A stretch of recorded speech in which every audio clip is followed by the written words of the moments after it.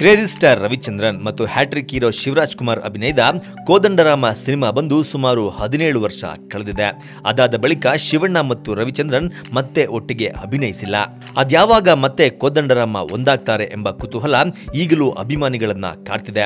ಸದ್ಯಕ್ಕೆ ಅಂತಹ ದಿನ ಬಂದಿಲ್ಲವಾದರೂ ಒಟ್ಟಿಗೆ ಇವರಿಬ್ಬರ ಸಿನಿಮಾ ತೆರೆ ಮೇಲೆ ಬರ್ತಿದೆ. ಹೌದು, ಒಂದೇ ದಿನ ರವಿಚಂದ್ರನ್ ಮತ್ತು ಶಿವರಾಜ್ ಕುಮಾರ್ ಅಭಿನಯದ ನಿರೀಕ್ಷೆಯ ಚಿತ್ರಗಳು ಚಿತ್ರಮಂದಿರಕ್ಕೆ ಲಗ್ಗೆ ಇಡ್ತಿದೆ. ಈ ಎರಡು ಚಿತ್ರಗಳು ಹಲವು ವಿಶೇಷತೆಗಳನ್ನ ಹೊಂದಿದ್ದು ಎರಡು ಒಂದೇ ದಿನ ರಿಲೀಸ್ ಆಗ್ತಿರುವುದು ಸುದ್ದಿಯಾಗಿದೆ. ಅಷ್ಟಕ್ಕೂ ಆ ಎರಡು ಚಿತ್ರಗಳು ಯಾವುದು ಅನ್ನೋದನ್ನ ನಾವು ಹೇಳ್ತೀವಿ. ಎಲ್ಲ ಅಂದುಕೊಂಡಂತೆ ಆಗಿದ್ರೆ ಶಿವರಾಜ್ ಕುಮಾರ್ ಅಭಿನಯದ ಕವಚ ಸಿನಿಮಾ ಇಷ್ಟೊತ್ತಿಗಾಗಲೇ ರಿಲೀಸ್ ಆಗಬೇಕಿತ್ತು. ಆದ್ರೆ ಕಾರಣಾಂತರಗಳಿಂದ ಪದೇ ಪದೇ ಮುಂದಕ್ಕೆ ಹೋಗ್ತಿತ್ತು. ಇದೀಗ ಅಂತಿಮವಾಗಿ ತೆರೆಗೆ ಬರಲು ಸಜ್ಜಾಗಿದ್ದು ಏಪ್ರಿಲ್ ಐದಕ್ಕೆ ರಿಲೀಸ್ ಆಗ್ತಿದೆ.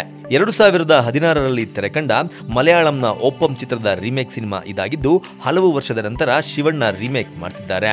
ಜಿವಿಆರ್ ವಾಸು ನಿರ್ದೇಶನದ ಈ ಚಿತ್ರದಲ್ಲಿ ಕೃತಿಕಾ ಜಯಕುಮಾರ್ ಇಶಾ ಕೋಪಿಕರ್, ಬೇಬಿ ಮೀನಾಕ್ಷಿ, ವಸಿಷ್ಠ ಸಿಂಹ ನಟಿಸಿದ್ದಾರೆ. ಈಗಾಗಲೇ ನಾಲ್ಕೈದು ಬಾರಿ ಬಿಡುಗಡೆ ದಿನಾಂಕ ಮುಂದಕ್ಕೆ ಹೋಗಿರುವ ಕವಚ ಈ ಸಲ ಪಕ್ಕಾ ಏಪ್ರಿಲ್ ಐದಕ್ಕೆ ಬರ್ತಿದೆಯಂತೆ. ಕ್ರೇಜಿ ಸ್ಟಾರ್ ನಟನೆಯ ದಶರಥ ಸಿನಿಮಾನು ಏಪ್ರಿಲ್ ಐದಕ್ಕೆ ತೆರೆ ಕಾಣುತ್ತಿದೆಯಂತೆ.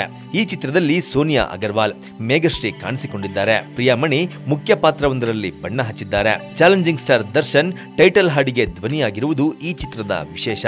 ಹದಿನೇಳು ವರ್ಷಗಳ ಹಿಂದೆ ಕೋದಂಡರಾಮ ಚಿತ್ರದಲ್ಲಿ ನಟಿಸುವ ಮೂಲಕ ಚಿತ್ರಮಂದಿರಕ್ಕೆ ಬಂದಿದ್ದ ರವಿ ಸರ್ ಮತ್ತು ಶಿವಣ್ಣ ಈಗ ಬೇರೆ ಬೇರೆ ಸಿನಿಮಾಗಳ ಮೂಲಕ ಗಾಂಧಿನಗರಕ್ಕೆ ಎಂಟ್ರಿ ಕೊಡ್ತಿದ್ದಾರೆ.